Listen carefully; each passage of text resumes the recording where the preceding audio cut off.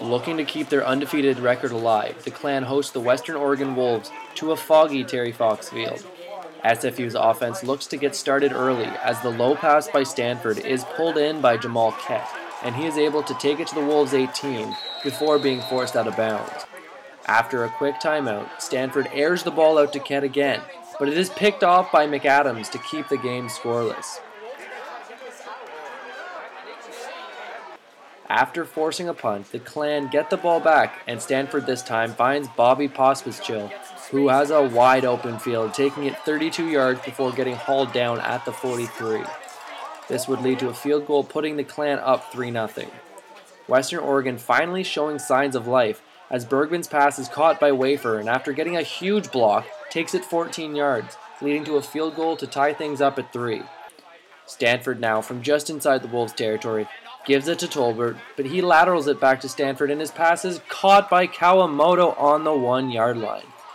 However, with this, SFU would have to settle for a field goal.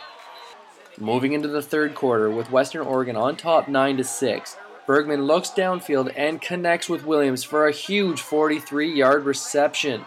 On the ensuing drive, Harris takes the handoff, and the second effort is good enough to put the Wolves ahead 16 to 9.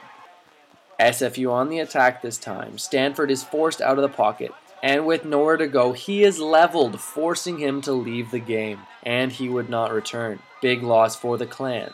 With the Wolves in a fourth down situation, keep your eyes on the Wolves kicker as SFU takes a roughing penalty, leading to an automatic Western Oregon first down. With that new life, the visitors turn to their star running back Harris as he bounces off the crowd and takes it 20 yards before getting forced out of bounds. On the same drive, they turn to Harris again, and he is able to find a lane, driving into the end zone for the major. Harris picked up 52 yards on that drive alone. Western Oregon again in the SFU red zone. Bergman finds Reeves on the doorstep, and he is able to fall in for the score as the Wolves take the victory by a score of 30 to 9. Scary moments for the Clan as Stanford did not return to the game, and with less than two minutes remaining, Tolbert had to be helped off the field, favoring his previously injured knee.